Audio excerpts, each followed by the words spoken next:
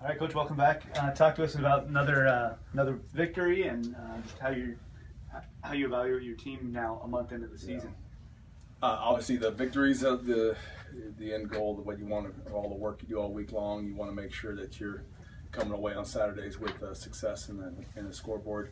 Uh, you know, it's, it's a zero sum game, and while we do way more than just want to win on the field, we want to help these guys win in life, become life champions. I think if you look at that, the way the the product is on Saturday night, uh, it was good to see the the collective buy-in on all three phases. It was good to see a lot of uh, newcomers start to step into roles that are of a more veteran type of uh, contribution. And it's just, it, you know, for me and my perspective as a head coach, I, I felt collectively as a, a team, you saw a team performance out there, and I was very excited for that. You know, we got a long ways to grow still too, uh, and we're going to get after it again this week. But I thought it was a great game for us to evaluate the entire team on it and really find some key nuggets that we need to improve. Um, Coach, I noticed uh, um, another uh, great game from Kurt Scobie. Um, Yeah. Talk about him. Yeah, you, I mean, he, he was obviously had good games er, early on, but he's been over 100 the last the last couple of games. Just talk about what he's been to to your team. Well, I think Scooby's Scooby's a, a, a great uh, addition to our team, and then what I appreciate about Scooby the most is his work ethic to keep learning, to keep understanding, to take the coaching, to, to, to change, and to become the type of player we believe he can become. So every day at practice, you see a guy who's one of the hard, hardest working guys out there. To see a guy in our one-on-one conversation with him as coaches to say, you know, um, what do I have to do to improve? And that right there, that spirit, that, that type of mindset, it's that real growth mindset we appreciate. And any of a lot of all of our players, I think that goes on to for quite a few other positions. Uh, but when you have a running back that can, you know, produce over 100 yards of rushing, uh, that gives you a good chance to, to winning the ball game. I think where you look at also this um, this last game, guys like DJ Morgan and Sammy Fanua um, really started to add some things to the to the running game pot. Uh, you know, add that to to a guy like a Ryan Adams and the whole mixture. I feel like the collective running back barn is, full, and so but in that the offensive line needs to really be, you know, uh, mentioned, and even our perimeter blocking with our receiving corps. You know, I think our running backs would be the first to tell you that they don't do it on their own, but they also, but all of them have the ability to break away. All of them have the ability to, to make plays, and that's what you want from that position. Um, but I was really excited that the the offensive line took a big step forward as working as a unit, and you see some of the perimeter blocking that's happening. It's a, it's a good thing. Do they have to work with the with the backs and, and know where the, or is it just just all scheme? Well, there, there's this schematically, you're trying to create holes, you're trying to create gaps and opportunities for the running back. So they need to know, the running back needs to know where things are fitting. Um, and in that, though, you have a running back that can make a play, can make us have a suddenness about him, to make the cut, to read the, to read the defense. That's where you know don't want to take anything away from from a running back's uh, talent. It's just it's it's an eleven to one ratio. It takes eleven guys to make a play work. Uh, it takes one guy to mess the whole thing up. So that eleven to one ratio, our team buys in, understands that. Hey man, everybody does their role well. Um, you're going to be all right. And uh, another good effort from your defense. Looks like they're continuing to improve from game to game, which is what you like. Yeah, well, I love the improvement. I love the fact that uh, once again the eleven to one ratio, the collectiveness of the of the group. Uh, doing their responsibilities, understanding where they have to fit, and when it comes to run fits, pass fits, uh, you know, it's defense is is, is and in football, just the football period, it's, it's the ultimate team game. Um, one guy just can't come out there and say, hey, "Look at me, I'm gonna my talents, you know, are gonna be there and make the big difference." It's a, it's the ultimate team game. So defensively, to answer your question, you see a group of 11 guys out there that are really knowing uh, where they need to fit, but there's a commitment to the team, a commitment to each other to say, "Hey, we're gonna play like our hair's on fire. Um, we're gonna we're gonna tackle better." I thought tackling was much better this last week and uh, we're going to do what it takes to make our team successful. And they and they're they're catching that vision.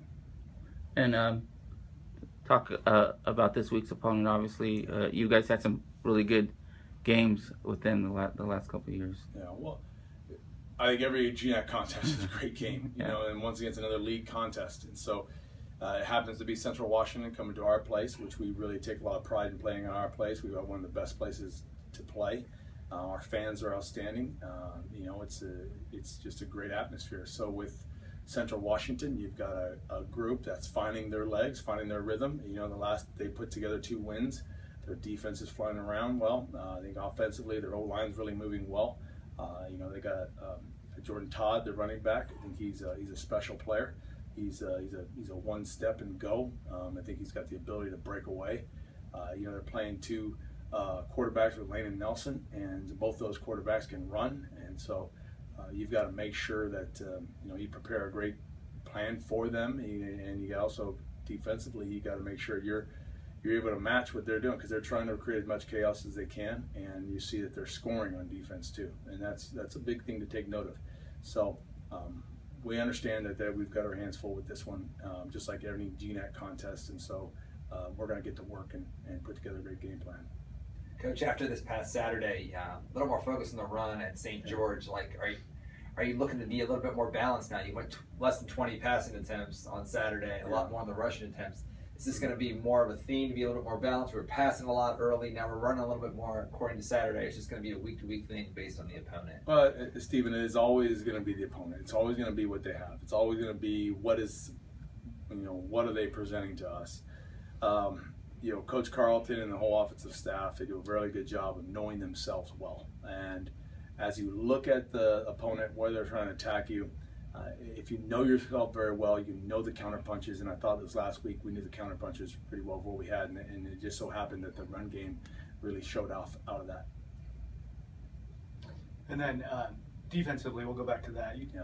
Um, talked about some of the playmakers you've got in, yeah. the, in the youngsters you have. This is kind of the point of the season where those young players, and I think you even mentioned it in practice yeah. last week. You're you're not really new guys anymore. Yeah. Now you're part of the team, and if you've got the talent, you're there to make plays. Um, I think there were four true freshmen that played pretty significant roles right. for you on Saturday. Um, how, how are you liking the youth and how they're coming into the system and, and contributing? Yeah, I, I love the youth, and then kind of answer the totality of your question is the number one thing is if you can play, you can you got an opportunity here. Um, whether you're a freshman, senior, if you're the best guy, we're going to play you. And so to have the four true freshmen going out there and contributing in a significant manner, um, that's a it's a compliment to who they are and their willingness to, to to take the mental stress, the physical stress, and find a way to succeed with that. Um, so it's also a, a, credit to our coaching staff to how we develop talent here. Um, it's also just a, a take note. It's just when you're talking when recruits are looking for an opportunity to for a school to play at, you say, hey, what gives you a chance to see the field sooner? But also not just see the field, but just see the field in a, um, a real significant manner that you're growing as a player. This is far greater of a step than high school is. So when our guys come here, they realize, man, this is fast. This is very physical. It's like nothing they've ever seen before. Uh, and so our coaching staff has a is Think one of the best in the country about developing talent right away, getting them through the emotional stress of being a newcomer. There's a plan in place that we have. There's a lot we do in training wise. So, um, you know, I'm going to take the time to really uh, applaud my coaching staff because they know how to develop talent. They know how to get them ready sooner than later. And uh, so a true freshman's got a real chance to find success. Now, in all that though, to bring it, it's also a chemistry. And, uh, you know, that's another thing. Uh, credit to my coaching staff that they know how to bring chemistry together. And like you said, and I do mention to the, the to the whole team, there aren't any newcomers anymore, and that newcomer um, title is can sometimes be a debilitating excuse. You know, we we so this is why we spend so much time and and strategically um, putting a plan in place to get uh, the newcomers into the fold quickly. So now at this time of the year, you have your team. And I thought this last week's victory really showed a whole team effort. I walked away feeling like, okay, they they are coming together, gelling. Um, now the the faces aren't so new anymore, and they're finally really starting to take that big step forward to exploding as a, as a whole collective uh, whole uh, whole collective group. So we're going to challenge them this week. They got, I mean, they got, and just you know, keep challenging. We've got a long ways to go, and um, in all that, we're going to make sure we continue to develop these guys and, and bring out the absolute very best. At the, at the last, when our last snap is played this year, it's always my goal as a head coach to say, did we maximize this team? Did we maximize them to the fullest? And to me, that's how you evaluate a whole year, and that's uh, that's a standard we have.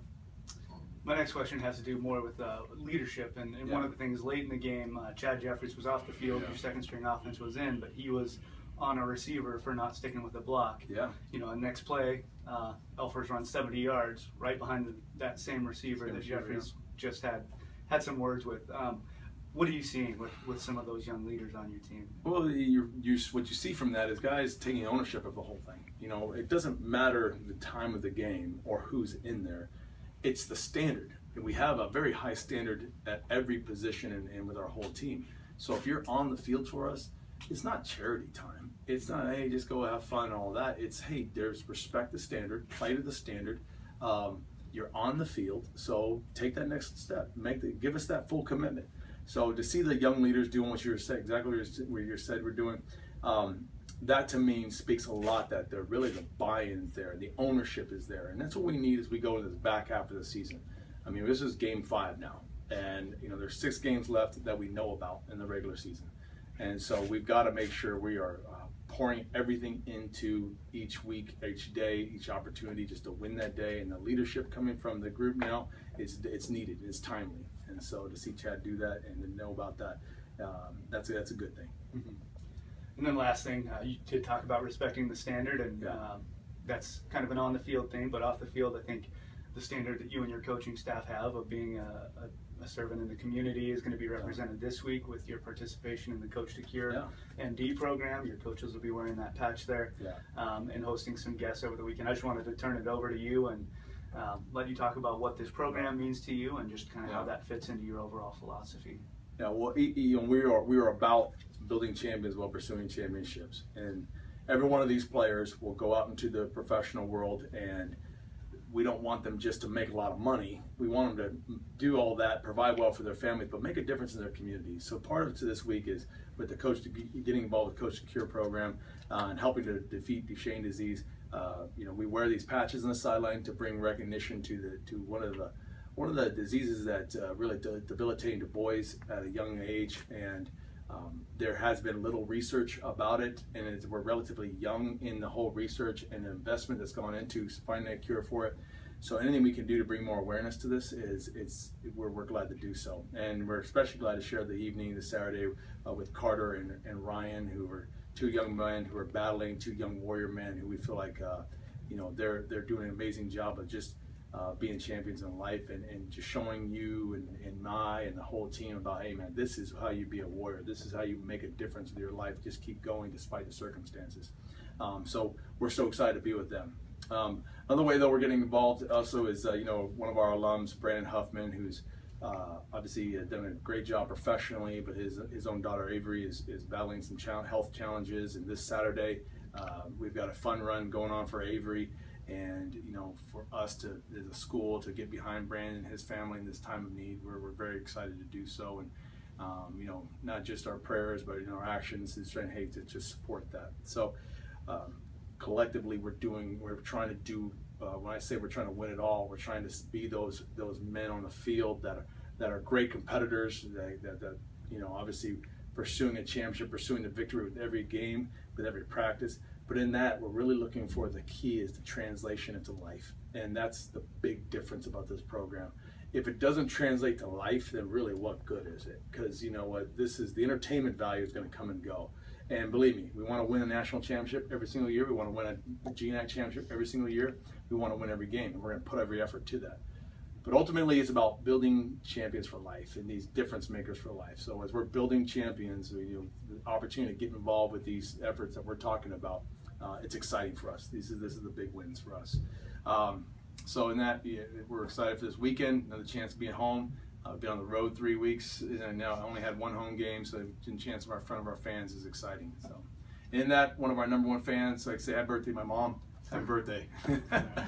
Thank you, Victor. All right.